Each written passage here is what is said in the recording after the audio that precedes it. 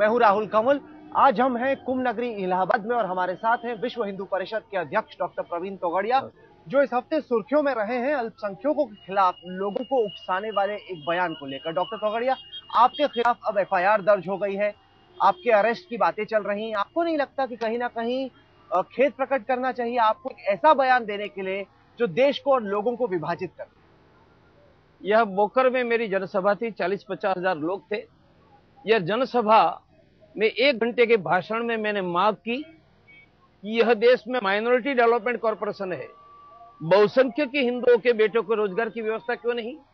यह देश में एक लाख तैयालीस हज़ार तीन सौ छियानवे करोड़ मुसलमानों के व्यापार के लिए दिया। बहुसंख्यक के व्यापार के लिए क्यों नहीं? ये देश में पंचानवे लाख मुसलमानों के छात्रों को फ़ी स्कॉलरशिप दी। हिंदुओं को क्यों नहीं? तो मैंने मांग की कि ये देश के हिंदुओं को चाहिए रोजगारी। शिक्षा, स्वास्थ्य, सुरक्षा और राम मंदिर। और मैंने ये मांग की, उनके साथ मैंने भारत के इतिहास की कुछ घटनाओं का वर्णन किया, परंतु यह देश के करोड़ों हिंदू ये मांग न करे, इसलिए एक छोटा सा कारण दिखाकर वह करते हैं आपकी जानकारी ये कंवल जी। पुलिस ने मेरे भाषण के बाद बैठकर एक कैसेट देखी थी। केस नहीं बनता था, परंतु वह पूर्व मुख्यमंत्री अशोक चौहान की कॉन्स्टिट्यूंसी है। और ये देश का हिंदू अपने अधिकारों की मांग न करे इसलिए हिंदुओं की आवाज़ दबाने के लिए क्या हो लेट मी टेल कि अब आज तक डॉक्टर तोगड़िया बोलता था अब करोड़ों हिंदू बोलेगा कि हमें चाहिए रोज़गार हमें चाहिए शिक्षा हमें चाहिए सुरक्षा हमें चाहिए राम मंदिर और हिंदुओं की आवाज़ को दबा नहीं सकता है। और यदि दबाने का प्रयास किया तो डॉक्टर तोगड़िया अकेला बोखर नहीं जाएगा उनके साथ लाखों हिंदू कुछ करेंगे और उनके माथे की कैप पर होगा टी शर्ट पर होगा झंडे पर होगा कि मैं हिंदू हूँ तुम हिंदू हो और यह डॉक्टर तोगड़िया की आवाज़ ये देश के करोड़ों हिंदुओं की आवाज़ बने डॉक्टर तोगड़िया आपने जानवरों का ज़िक्र किया। मुस्लिम समुदाय के लोगों की तुलना आपने कुछ जानवरों से की। वो इतने मैंने किसी का नाम नहीं लिया है और बिना नाम लिए बात करता हूँ आप कोई अपने चेहरे पर चिपका देते तो मैं क्या करूँ? मैंने किसी इस तरह से देश के समुदाय के लोगों की तुलना किसी जानवर से करना। मैंने क्या ये ठीक है? किसी व्यक्ति का नाम नहीं लिया है। नाम न लेने से क्या होता है? आवाज़ बुलंद की आपका संकेत तो साफ़ है। की आवाज़ उठाने का प्रयास किया और यह देश में हिंदुओं की आवाज़ दबाई जाती है। वह कोकरा जाट होगा या शेड्यूल कास्ट की बेटी का प्रताप की घटना होगी यह देश में हिंदुओं की आवाज़ दबाई जाती है। और इस तरह डॉक्टर तोगड़िया कहता है कि हिंदुओं को रोज़गार चाहिए शिक्षा चाहिए स्वास्थ्य चाहिए राम मंदिर चाहिए। तो उनको जेल के सलाखे के पीछे बंद करने का षड्यंत्र किया जाता है। न डॉक्टर तोगड़िया की आवाज़ रुकेगी न करोड़ों हिंदुओं की अधिकार की मांग आपने भागलपुर के दंगों का ज़िक्र किया आपने दिल्ली के दंगों का ज़िक्र किया आपने मुरादाबाद की बात की आपने मेरठ की बात की आपने कहा कि वहाँ पे हमने लाशें बहा दी। इस तरह से बयान देना क्या आपको नहीं लगता कि इससे दोनों समुदायों में दरार पड़ती है। वर्णन करना पाप है और हमने लाशें बहाई नहीं कहा है। हमने कहा कि इतिहास में हुआ है।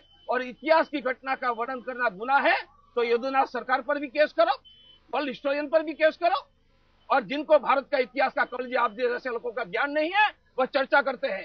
किसी नोआखली की चर्चा करना, भारत विभाजन की चर्चा करना, नैली की चर्चा करना, इतिहास की चर्चा करना गुना है। यदि हिंदू की बात करना गुना है तो डॉक्टर तोगड़िया गुनेगार है, और हिंदुओं को अधिकार मिले, रोज़गार मिले। इसलिए यदि बोखर के पचास हज़ार लोगों के सामने हमने मांग की है, यह मांग को दंडित करने का प्रयास किया है तो ये देश का हिंदू बर्दाश्त नहीं करे नहीं नहीं जानवरों से तुलना करना ठीक है। हमने किसी का नाम नहीं लिया बार बार आप माथे पर बार बार आप माथे पे चिपकाना इतना सरल थोड़ी बार बार आप मियाँ कहते हैं किसके बारे में ज़िक्र कर रहे हैं? व्यक्ति का नाम नहीं दिया है। कमाल की बात हैदराबाद से आप में और ओवैसी में फिर क्या फ़र्क हुआ? मैंने सौ करोड़ हिंदुओं के अधिकार की मांग की है उनकी रोज़गार शिक्षा की मांग की है। यह देश में हिंदू को अपमानित किया जाता है मुसलमानों के बच्चों को शिक्षा उत्तर प्रदेश में मुसलमानों की बेटियों को तीस हज़ार हिंदुओं की बेटियों को क्यों नहीं? बंगाल में मुल्ला मौलियों को ढाई हज़ार हिंदू को नहीं किसान को क्यों नहीं? यह देश में हिंदुओं का व्यापार खत्म किया जा रहा है। उनकी नौकरियाँ छीनकर ओबीसी मुसलमानों को दे रही है आप अपनी मांग हिंदुओं के अधिकार की आवाज़ बुलंद की और हिंदुओं की अधिकार की आवाज़ बुलंद करना ये देश में गुना बना है। और इसलिए मुझ पर गलत केस किया गया नहीं आप लोगों की बात रख सकते हैं मांग उठा सकते हैं। आप लोगों को लेकिन उकसाते हैं। जिस तरीके से ओवैसी ने हैदराबाद में लोगों को उकसाने का काम किया डॉक्टर पवार लोगों काम आपने हिंदुओं की आकांक्षा की बात की है एक घंटे के प्रवचन में और ये आकांक्षा सुनने के लिए पचास हज़ार लोग थे। अशोक चौहान की कॉन्स्टिट्यूंसी थी तो वो हिल गए कि पचास हज़ार लोग एक असेंबली में आए तो हमारा क्या होगा? और मुझे बताओ ये देश में क्या हिंदुओं का अन्याय नहीं हो रहा है? आप बताओ अखिलेश यादव अकेले मुसलमानों की बेटियों को तीस हज़ार दे रहा गलत है या नहीं? ओबीसी की नौकरियाँ छीनकर मुसलमानों को दे रहे हैं तो गलत है या नहीं? अकेले मुसलमान के बेटों को पंचानवे लाख को फ़ीस स्कॉलरशिप दे रहे हैं। ये देश के ब्राह्मण के ठाकुर के जाट के कुर्मी के वाल्मीकि के बेटों को क्यों नहीं, नहीं और यदि डॉक्टर तोगड़ी आवाज़ बुलंद करता है कि हम भारत में रोज़गार लेकर रहेंगे शिक्षा लेकर रहेंगे व्यापार की चिंता करेंगे आप मुझे बताओ। व्यापार के वहाँ इनकम टैक्स रेड होती है किसी मुसलमान के बाद देखी है क्या? सेल टैक्स की रेड मुसलमान के बाद देखी है? ये देश में लाखों हिंदू बच्चों के अपहरण हुए हिंदुओं के अलावा कितने बच्चों का अपहरण हुए ये देश में बच्चों के अपहरण भी हिंदू का होगा। इनकम टैक्स की रेड भी हिंदू के यहाँ सेल टैक्स की रेड भी हिंदू के अंदर। नौकरियाँ भी हिंदू की छीन लेने की शिक्षा भी हिंदू की छीन लेने की। और डॉक्टर तोगड़िया कहता है कि हिंदू खड़े हो जाओ लोकतांत्रिक पद्धति से एक होकर उनका उत्तर दो अपना अधिकार मांगो। उनको जेल के सलाह से बंद कर दिया जाता है। आज तक डॉक्टर तोगड़िया बोलता था अब देश का करोड़ों हिंदू बोलेगा आपको नहीं लगता कि हम रोज़गार लेकर रहेंगे हम शिक्षा लेकर रहेंगे भारत में हमारा अधिकार लेंगे और भारत में हिंदुओं की नौकरी रोज़गार की चिंता करने वाली राजनीति भारत में हम खड़ी करके रहेंगे। आपको नहीं लगता कि आ, कानून को कार्रवाई करने की ज़रूरत है? सरकार को एक संदेश देने की ज़रूरत है कि इस तरह के बयान वो इस समुदाय से आए या उस समुदाय से ये किसी भी तौर से इस देश तो में मंजूर नहीं है। शिवाजी और औरंगज़ेब की तुलना करने निकले हो। जो कतले आम की बात कर रहा है, पंद्रह मिनट को पुलिस हटा दो।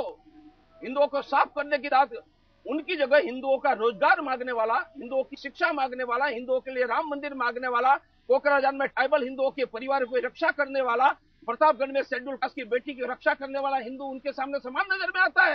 कहा तो मेरे भाइयों, आप रावण के विरुद्ध लड़ने वाले राम के साथ उनकी तुलना करके खड़े रहते हैं। लगता कि आपका दिमाग बिगड़ गया है। आपको नहीं लगता कि देश में इस वक्त ज़रूरत है विकास की?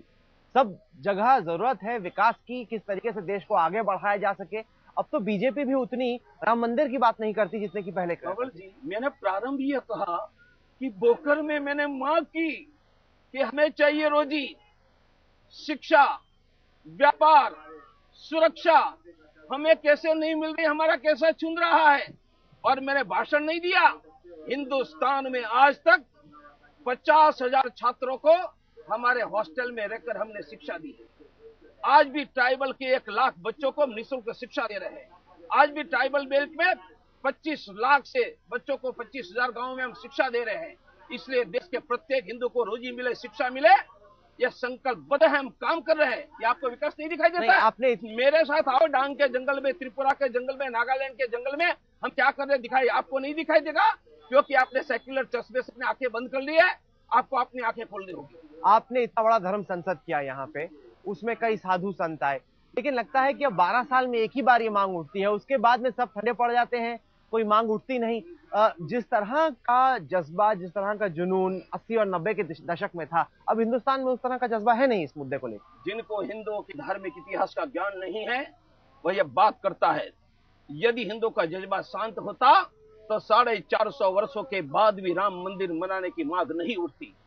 राम सेतु के लिए हिंदू बाहर नहीं निकलता, अमरनाथ के लिए जम्मू का हिंदू बाहर नहीं निकलता। जब तक यह राम मंदिर नहीं बनेगा, मांग उठती रहेगी। यह प्रश्न सिर्फ़ राम मंदिर का नहीं है। प्रश्न आज अयोध्या में राम मंदिर नहीं बनता है तो कल मेरा गाँव का मंदिर सुरक्षित नहीं रहेगा। कल मेरी संपत्ति सुरक्षित नहीं रहेगी। कल मेरी बेटी सुरक्षित नहीं रहेगी। कल मेरा व्यापार सुरक्षित नहीं रहेगा। कल ओबीसी की नौकरियाँ सुरक्षित नहीं रहेगी। आप ये बात जिन्होंने मेरा राम मंदिर तोड़ा है उन्होंने मेरी ओबीसी की नौकरियाँ छीने हैं। उन्होंने सिर्फ़ मुसलमानों की बेटियों को तीस हज़ार दिया है। इसलिए राम मंदिर का प्रश्न सिर्फ़ राम मंदिर का नहीं है यह हमारी श्रद्धा का प्रश्न है। हमारी संपत्ति की रक्षा हमारे गाँव की रक्षा हमारे व्यापार नौकरी की रक्षा है। अयोध्या में राम मंदिर बनेगा आपका गाँव में आपका घर सुरक्षित हो जाएगा आपका व्यापार सुरक्षित हो जाएगा आपकी नौकरी सुरक्षित हो जाएगी। आपका धर्म सुरक्षित हो विश्व हिंदू परिषद द्वारा आयोजित धर्म संसद में जब जब नरेंद्र मोदी का नाम लिया गया साधु और संतों ने ज़बरदस्त तालियाँ बजाई। लेकिन डॉक्टर प्रवीण तोगड़िया एक ऐसे शख्स हैं जो मोदी का नाम लेने को तैयार नहीं है। मुझे ये बताइए आपके ही सहयोगी हैं अशोक कहते हैं कि नेहरू के बाद मोदी ही है। मतलब इस तरह की तुलना हो रही आपको मोदी से इतना परहेज किया? मुझे ये बताओ आज से लेकर पूर्व में 30-40 साल में विश्व हिंदू परिषद ने किसी व्यक्ति या दल को वोट देने का कहा है तो एक उदाहरण मुझे बताओ। इस बार तो हो रहा है। Number one. इस बार तो हो रहा है इस बार तो सरसंघ चालक के आगे चले गए। सरसंघ चालक ने भी नाम नहीं है। दूसरा विश्व हिंदू परिषद या धर्म संसद में किसी व्यक्ति या दल के समर्थन में प्रस्ताव पारित किया हो तो बताओ। इस बार तो साधु संतों ने नाम लिया मोदी का। मैं प्रस्ताव की बात कर रहा हूँ। व्यक्ति वहाँ मेरे भाई दस हज़ार साधु संत थे। दस हज़ार में आपको दो के नाम दिखाई देते दस हज़ार नहीं, नहीं दिखाई देते। तो खूब बजी लग रहा था कि बाकियों में भी सपोर्ट है मोदी का। व्यक्ति से पक्ष बड़ा है पक्ष से विचार बड़ा है। विश्व हिंदू परिषद कहती है कि जो व्यक्ति कहेगा संसद में कानून बनाकर राम मंदिर बनाऊँगा। जो व्यक्ति कहेगा कि मेरी हिंदू राष्ट्र में श्रद्धा है जो व्यक्ति कहेगा धारा तीन सौ हटाऊँगा जो व्यक्ति कहेगा समान नागरिक संहिता दूँगा उनको हिंदू समाज वोट दे। हमने एक्स को वोट देने का कभी नहीं कहा है नहीं कहेंगे आगे भी नहीं कहेंगे। तो इसलिए कह रहे हैं इसलिए इंटरव्यू में मोदी का नाम विश्व हिंदू परिषद की परंपरा में कभी नहीं रहा है हमारे प्रस्ताव में नहीं रहा है। आपके मैं तो विश्व हिंदू परिषद का एग्जीक्यूटिव प्रेसिडेंट के नाते विश्व हिंदू परिषद की जो पॉलिसी प्रस्ताव है वह जनता तक ला जाने के लिए बाध्य हूँ। हमारे यहाँ किसी स्तर पर चर्चा नहीं हुई है निर्णय नहीं हुआ है। और दूसरा ये निर्णय भारतीय जनता पार्टी को करना है। विश्व हिंदू परिषद को नहीं तो करना है कि अशोक और सिंघल की हमें बात का कोई मतलब नहीं। नहीं हमें बोलते रहे हमें पूछेंगे सहयोगी हैं। हमें पूछेंगे तो बताएँगे तो। परंतु हमें पूछाएगा सार्वजनिक बताने की ज़रूरत नहीं है। भारतीय जनता पार्टी का लीडर कौन होगा? वह निर्णय भारतीय जनता पार्टी की नेशनल एग्जीक्यूटिव करेगी। ये डॉक्टर प्रवीण तोगड़िया नहीं करेगा। आज तक हमारी परंपरा किसी व्यक्ति पक्ष को मदद करने का नाम देने की नहीं है।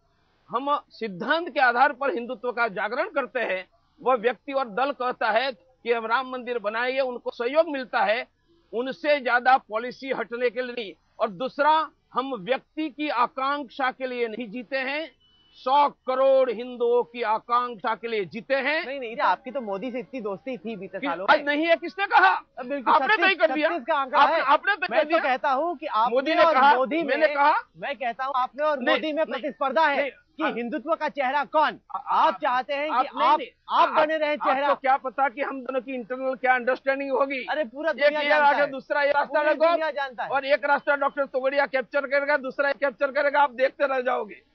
तो आप आप ही फंस जाओगे आप कह रहे यहाँ से भी डॉक्टर तोगड़िया और यहाँ से भी डॉक्टर तोगड़िया है। इसलिए उनके चेहरे के पीछे भी हिंदू राष्ट्र का डॉक्टर तोगड़िया का चेहरा न निकले तो आश्चर्य मत करो। तो आप कह रहे हैं कि मोदी के पीछे भी डॉक्टर तोगड़िया का चेहरा है? मैंने कहा जो हिंदू राष्ट्र पर विश्वास करता है कहा वह प्रत्येक मोदी- व्यक्ति पर हमारा चेहरा है। कहा कि मोदी के पीछे डॉक्टर जो हिंदू राष्ट्र पर विश्वास करता है उनके पीछे हमारा चेहरा है। नेताओं को कहो बताए कि हिंदू राष्ट्र पर मेरा विश्वास है अखंड भारत पर मेरा विश्वास है और संसद में कानून बनाकर राम मंदिर बनाएँगे। ऐसे प्रत्येक लीडर के पीछे मेरा चेहरा है। नहीं नहीं मोदी अहमदाबाद से निकलकर दिल्ली आना चाहते हैं उसके लिए ज़रूरी है कि वो हिंदुत्व के रास्ते से हट के थोड़ा एक बीच का रास्ता पकड़े ताकि उनको बाकी लोगों के यह कहना है दिल्ली का प्रत्येक रास्ता अयोध्या से गुजरता है हिंदू राष्ट्र के गुजरता है। पर कोई मानता नहीं हिंदू राष्ट्र से जो गुजरेगा उनका रास्ता हमारा रास्ता। सालों में धर्म संसद में बीजेपी के अरे दुनिया को आते थे अरे तो जी दुनिया को झुकाया जा सकता है या देश के सौ करोड़ हिंदुओं को मुगलों को झुकाया तो देश की राजनीति को भी झुका देगा। आप बताइए आपके हिसाब से नरेंद्र मोदी अच्छा पीएम बन सकता है कि नहीं? मैं अच्छा पीएम या बुरा प्रेम का अभिप्राय देने के लिए नहीं मैं विश्व हिंदू परिषद की पॉलिसी व्यक्त करने के लिए हूँ।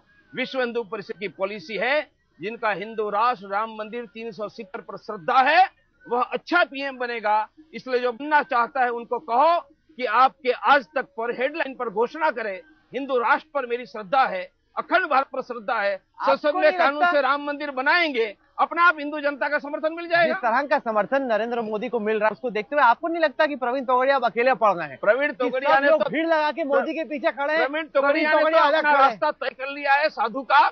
इसलिए साधु न संपत्ति के पीछे होते हैं न समर्थन के पीछे सत्ता के पीछे। आप भ्रम रहे हो। जो साधु के रास्ते पर निकलता है आप वह समर्थन की चिंता नहीं करता है। हिंदुओं के कल्याण की चिंता करता है इसलिए चाहे तो सर कटा देता है चाहे तो जेल में जाता है चाहे तो कवल से भिड़ भी जाता है। अच्छा ये बताइए कि आपको लगता है कि बीजेपी की दोबारा सरकार बन रही है? वह मुझे पता नहीं अगली सरकार हिंदू चाहेंगे उनकी बनेगी। यह देश में हम 10 करोड़ हिंदुओं की संकल्प शक्ति करेंगे जो देश में हिंदू राजनीति हिंदू पॉलिटी खड़ी करेंगे जो सौ करोड़ हिंदुओं को रोज़गार शिक्षा सुरक्षा और राम मंदिर दिलाएगी। और अकेला भाजपा नहीं देश के सभी दलों को हिंदुत्व के रास्ते पर लाने के लिए हम जनशक्ति के आधार पर उनको बाध्य करेंगे। आपने अपनी बात रखी डॉक्टर तोगड़िया। देश के लोगों को तय करना है कि वो आपके साथ हैं आपके खिलाफ। आपने हमें वक्त दिया इसके लिए बहुत बहुत शुक्रिया।